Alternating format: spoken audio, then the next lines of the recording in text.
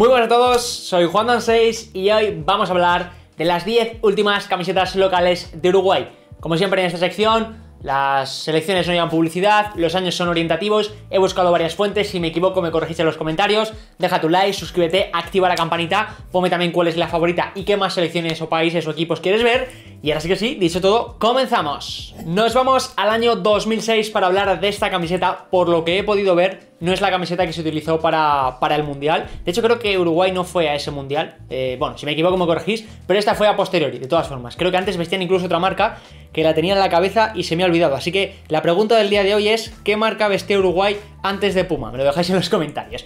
Venga, vamos a empezar hablando de esta camiseta que, pese a ser bastante distinta a lo que solemos ver en selecciones, eh, no me gusta. O sea, y lo digo así como muy fuerte, pero porque yo creo que no me gusta porque en los últimos años, que es cuando yo más he visto Uruguay, eh, tengo asociado Uruguay al azul y al blanco. Claro, en esta foto no veo nada de blanco. Creo que el pantalón lo vemos en, en Cavani sí que es blanco, pero el resto de la camiseta no. Demasiado azul quizá, demasiado azul, además un azul, sobre todo en la foto de la izquierda muy oscuro, en la de la derecha sí que se ve más clarito, entonces ya eso me chirría bastante, luego el negro como secundario únicamente en el puma y en el número, no sé, me deja un poco como que no me termina de gustar, cuello y puños no están aprovechados, podrían haber ido en negro, y luego lo que sí que me encanta, llama bastante atención, es el tema del sol, ¿no? Ahí como impregnado en la parte donde está el escudo, más la parte de la izquierda de, de, la camiseta. Entonces, bueno, eso sí que llama la atención, le hace ser una camiseta exclusiva con el escudo de Uruguay, creo que era el antiguo, desde luego, porque se ve distinto al de ahora. Luego ya sí, veremos luego la evolución. Y nada, una camiseta que como digo, eh, creo que con detalles en blanco me hubiese gustado mucho más, pero por lo menos Puma le quiso hacer ese honor metiendo el sol que hay en la bandera de Uruguay, un país seguro que precioso cuando vaya y lo visite, pues seguro que me encanta. Eh, déjate un like si quieres que vaya a Uruguay, y si no también, déjatelo. Entonces, bueno, eh, camiseta que normalita, para empezar, ¿no? No está mal, es bastante distinta, pero a mí personalmente, no sé por qué, ya sabéis que esto es subjetivo, no me termina de gustar. 2008 y vemos una camiseta un poco similar, aquí sin el sol, pero lo que volvemos a ver, evidentemente, es que el negro es el color eh, secundario, ¿no? Lo vemos en el puma, lo vemos en el, en el escudo, en este caso el número sí que va al, al... ¿Cómo se dice esto? En el centro de la camiseta, perdón, el puma va a la izquierda, como suele ser habitual. En la anterior camiseta no sucedía así. Y luego es verdad que tampoco vemos muchos detalles. Creo que los puños sí que sí que parece que vayan aprovechados. O no, es que se ve, es que se ve fatal la foto, disculpad. Eh, se ve demasiado oscura. Mm, vamos a ver a Forlán, creo que no van aprovechados. Lo que sí va aprovechado es el costado. Luego el puma lo encontramos también en las sombreras. Pero se ve una camiseta de nuevo bastante normalita. Igual luego, eh, vosotros en comentarios me soléis decir, eh, oye, pues Juan, pues la camiseta en verdad esta de este año tiene un grabado. Lo que pasa es que la foto que has puesto no se ve, puede ser. De hecho, igual esta, esta camiseta lo tiene, porque me estoy fijando que tiene como ondas, puede ser, ¿no? El que no, sé, no lo termino de ver bien. Pero bueno, ya sabéis que en esta serie la hacemos entre todos, ¿no? Nos tenemos que ayudar a todos. Yo pongo las fotos que he podido rescatar. Al final son de fotos de hace más de 10 años, es complicado encontrarlas y en buena calidad, pero vosotros, los que hayáis vivido el contexto de la selección uruguaya, me podéis ayudar a mí y a todos en los comentarios poniendo, eh, pues, qué quiere decir esta camiseta o algún detalle que se nos escape, que siempre, siempre, siempre es bienvenido.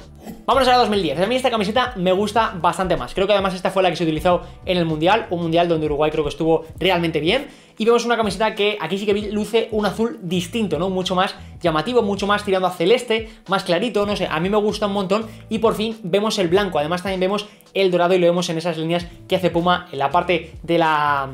que une la manga con la parte... Eh, no me sale la palabra, la parte frontal de la camiseta, disculpadme, y luego también en la parte de abajo, ¿no? Vemos ese, esas rayitas en dorado, está bastante bien, el cuello en blanco mola, los puños si os fijáis también tienen trocitos en blanco, además creo que la camiseta sí que tiene como como unos eh, destellos, ¿no? En la, en la, parte frontal de, de, la camiseta y también tirando hacia el costado, ¿no? Lo vemos en Forlán. Eh, me queda la sensación, parece como soles, ¿no? Creo que está impregnada toda la camiseta como por soles. No sé, es una camiseta que me llama bastante la atención. Lo que quizá que me chirría un poquito es que el número vaya en negro, ¿no? Creo que en blanco hubiese quedado bastante mejor, pero hasta ahora ya os tengo que decir que a mí esta camiseta es la que más me gusta. Este azul, combinado con el blanco, creo que queda muy muy bien y por eso a mí esta combinación me gusta tanto. 2012, eh, camiseta rara, se ve muy rara. No porque sea fea, me gusta bastante. Pero el tema de que la parte izquierda, toda la parte izquierda de la camiseta esté vacía, esté desnuda, eh, no me gusta nada, ¿eh? No me gusta nada. Lo vemos en Suárez, como el escudo va a un lado, en el lado que suele ir, ¿no? Cerca, el lado más cercano al corazón. El puma en el medio, justo debajo el número. Y es que no entiendo por qué el escudo no va alineado. O sea, creo que las tres cosas hubiesen quedado muy bien. Es algo que ya hemos visto este año en la, las camisetas de la Eurocopa, por ejemplo, Inglaterra lo vestía así, ¿no? Las tres cosas en el medio queda muy bien. Pero bueno, a rescatar de esta camiseta, los puños bastante marcados en blanco, está bien. El escudito justo encima de Puma. Eh, y luego el cuello redondito, pero no sé, funcional, en blanco queda muy muy bien. El color también me gusta bastante. Y bueno, quitando ese detalle, es verdad que es una camiseta muy simple, pero que a mí me gusta. Al final lo que os he dicho, ¿no? El azul y el blanco para mí son dos colores que quedan muy bien. Ojo, 2013, una camiseta que desde luego emula lo retro, ¿no? Sobre todo con ese cuello, fijaos en el cuello que trae eh, con los cordoncitos, por así decirlo. Luego la parte de arriba, el blanco, queda muy muy bien. Y se ve una camiseta, no sé, que emula eso. Luego es verdad que la ves en Forlán y el material se ve que es un material más actual, ¿no? Pero la parte de la izquierda no parece un material tan actual, eh, por cómo han utilizado los tonos de, supongo que en edición luego de la foto, parece como antigua, ¿no? Tirando casi más a gris que azul, ¿no? Mola, se ve bastante retro. Luego lo, que os digo, en Forlán se veía un azul que llama más la atención. Pero bueno, puños bastante bien aprovechados en blanco. El Puma, el escudo de Uruguay, en este caso sí que alineado donde tiene que ir. El 10, de nuevo en negro, ¿no? El número, mejor dicho, en negro no sé, no sé por qué no lo ponen en blanco. Igual tiene alguna explicación, quizá en televisión se ve mucho mejor el negro sobre el azul que el blanco sobre el azul y prefieren hacerlo así. Pero bueno, eh, aún así es otra camiseta que llama la atención, no es una camiseta que te quedas con ella y dices, sí, sí, la retro era la camiseta de 2013, bueno, ya sabéis, 2013, 14, siempre pongo años orientativos, pero que es algo distinto y también hay que agradecérselo a Puma. 2014, vamos ya con otra camiseta que es también distinta, ¿no? Sobre todo por ese cuello en blanco y en, dorado tan abierto. No, está mal, pero quizá demasiado abierto. A Forlán le queda brutal, ¿no? Al final es una player version que la gente que es fuerte y es guapa, pues le queda muy bien. Luego, esos colmillos desde abajo en dorado no está mal. El dorado en el Puma, vemos cosas muy distintas, ¿no? Luego ya el 10 en negro, sigue yendo en negro. Los puños aprovechados en blanco, pero con tiras en azul clarito, ¿no? Simulando la bandera de Uruguay. Y luego encima del propio escudo de Uruguay, si os fijáis, salen como unos rayos, por así decirlo, emulando evidentemente el sol que tiene el país uruguayo en su bandera. No sé, una camiseta que llama bastante la atención, que es distinta y que a mí me gusta personalmente. Es una camiseta que creo que está bastante, bastante bien, la verdad. O sea, es verdad que es, igual creo que la camiseta visitante, que ya tratamos la, semana pasada, eh, así que ya la vimos, lo que pasa es que estás en azul, la otra era en blanco, pero otra camiseta interesante, interesante. La verdad es que em, Uruguay siempre yo tenía el, concepto en la cabeza de que eran camisetas muy simples, de que eran todas muy sosas, que Puma tampoco se esmeraba mucho, y de momento creo que todas, todas, todas tienen algo, aunque sea un poquito, a destacar. Y eso de verdad que habla muy bien, tanto de Puma como de Uruguay. Desde mi punto de vista, ya sabéis. La siguiente camiseta que vamos a ver es la de Deja tu like. Suscríbete aquí, ¿eh? Suscríbete al canal y activa campanita. Ahora sí. Siguiente camiseta, 2016. Bueno, eh, se recupera el negro. Hacía tiempo que no veíamos el negro. Esta camiseta, el tejido se ve mucho más moderno. Y Puma ya sí que, pues eso, mete también una, un modelo de hacer la camiseta, unas líneas que pegan más con la actual. Vemos como toda la manga, eh, la parte de arriba, desde la hombrera hasta el final de la manga va en negro, con el dedito de Puma en blanco, perdón, en, azul. Luego vemos también, creo que es, eh, no sé si aquí ya cambia el escudo, desde luego se ve distinto al antiguo, ¿no? Se ve como más moderno. Creo que aquí ya sí que se produce un cambio del escudo, eh, lo cual, bueno, a mí me gusta, ¿eh? Creo que queda mejor. El Puma va a la misma altura que, el escudo de Uruguay, en negro. El número también cambia, ¿no? Eh, también en negro, pero distinto. Y luego es verdad que estoy viendo que creo que la camiseta no tiene en este caso ningún patrón. Creo que todo lo que vemos ahí, como hay como líneas horizontales y todo, eh, creo que es parte de la camiseta. Pero aún así, es que no sé si hay un sol grabado justo en el centro justo en el centro igual hay un sol. Ya sabéis que he llegado aquí y lo pone en el título, estoy reaccionando, hago una reacción, no hago un análisis, ¿no? Aquí yo solo reacciono, por lo tanto yo veo todas las camisetas y doy mi punto de vista subjetivo. Yo creo que sí que sale un sol del pecho, pero bueno, me lo podéis confirmar en comentarios, ya sabéis.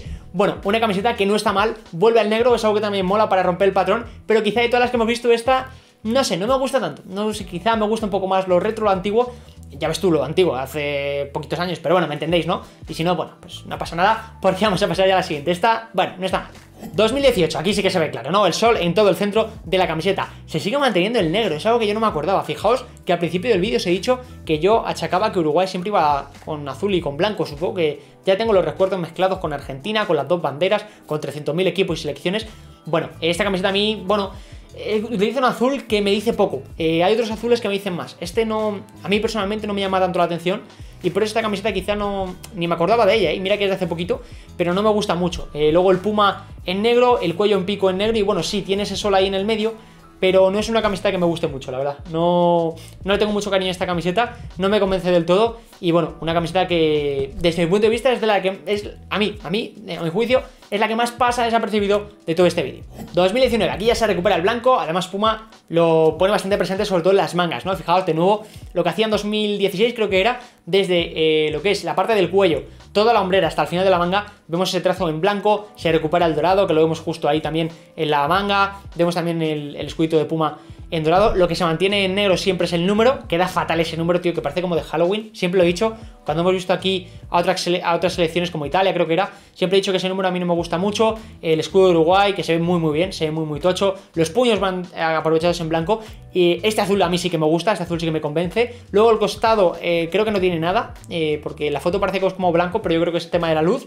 Y creo que la camiseta en sí no tiene ningún patrón, pero aún así me gusta, no sé. Eh, también la veo muy simple, muy retro, bueno, muy minimalista pero a la vez me gusta. Es una camiseta que, bueno, no tengo, pues no, o sea, me refiero, no tengo ninguna de Uruguay, pero me podría comprar. O sea, es una camiseta que no, me desagrada para nada. Y ojo, estamos llegando ya casi al final, todavía queda alguna por ver, pero yo creo que ya en, los comentarios puedes ir dejando tu top de, cuál, de qué camisetas, perdón, te gustan más, también las notas, todo lo que quieras aquí abajo. Llegamos ya con la de 2021, ya hablamos de ella las camisetas de la Copa América y me gustaron mucho las dos, tanto la visitante como la local, eh, me gustaron. Aquí el azul es mucho más oscuro, pero sí que me mola bastante. Y luego, bueno, el Puma va en blanco, el escudo de Uruguay, el 9 ya cambia, por lo menos a mí este número me gusta más, también lo hemos visto en Italia, es un número más correcto, pero a mí me gusta más, eh, en negro, y luego lo que llama la atención son esos costados, mezclando el azul y el blanco de los colores de la bandera de Uruguay. Se ve distinto el azul, yo he dicho que esta camiseta me encantaba, que era de las mejores de los últimos años. Claro, yo no había revisado todas y si os tengo que decir la verdad, en este vídeo eh, he visto varias camisetas y esta no es la que más me gusta. No sabría decir con exactitud cuál es la que más me gusta, pero sí que he visto camisetas muy muy interesantes. Os diría quizá que la de, la de 2010, la que se vistió para el Mundial de 2010, que empezó a incorporar ya el blanco, eh, pues a mí me gustaba bastante, la verdad. Yo creo que sí. Luego quizá esta, bueno, esta de 2021 me gusta bastante, pero bueno, lo que te quiero es leer a ti, así que en los comentarios ponme qué camiseta de Uruguay en estos 10 últimos años te ha gustado más. Y si has llegado hasta aquí es importante que dejes un like, también que te suscribas por aquí al canal. Aquí te voy a dejar el vídeo a las 5 últimas camisetas visitantes, que espero que también te guste. Puedes seguirme en Instagram donde hago contenido exclusivo, activa la campanita y mañana nos vemos en un nuevo vídeo. Adiós.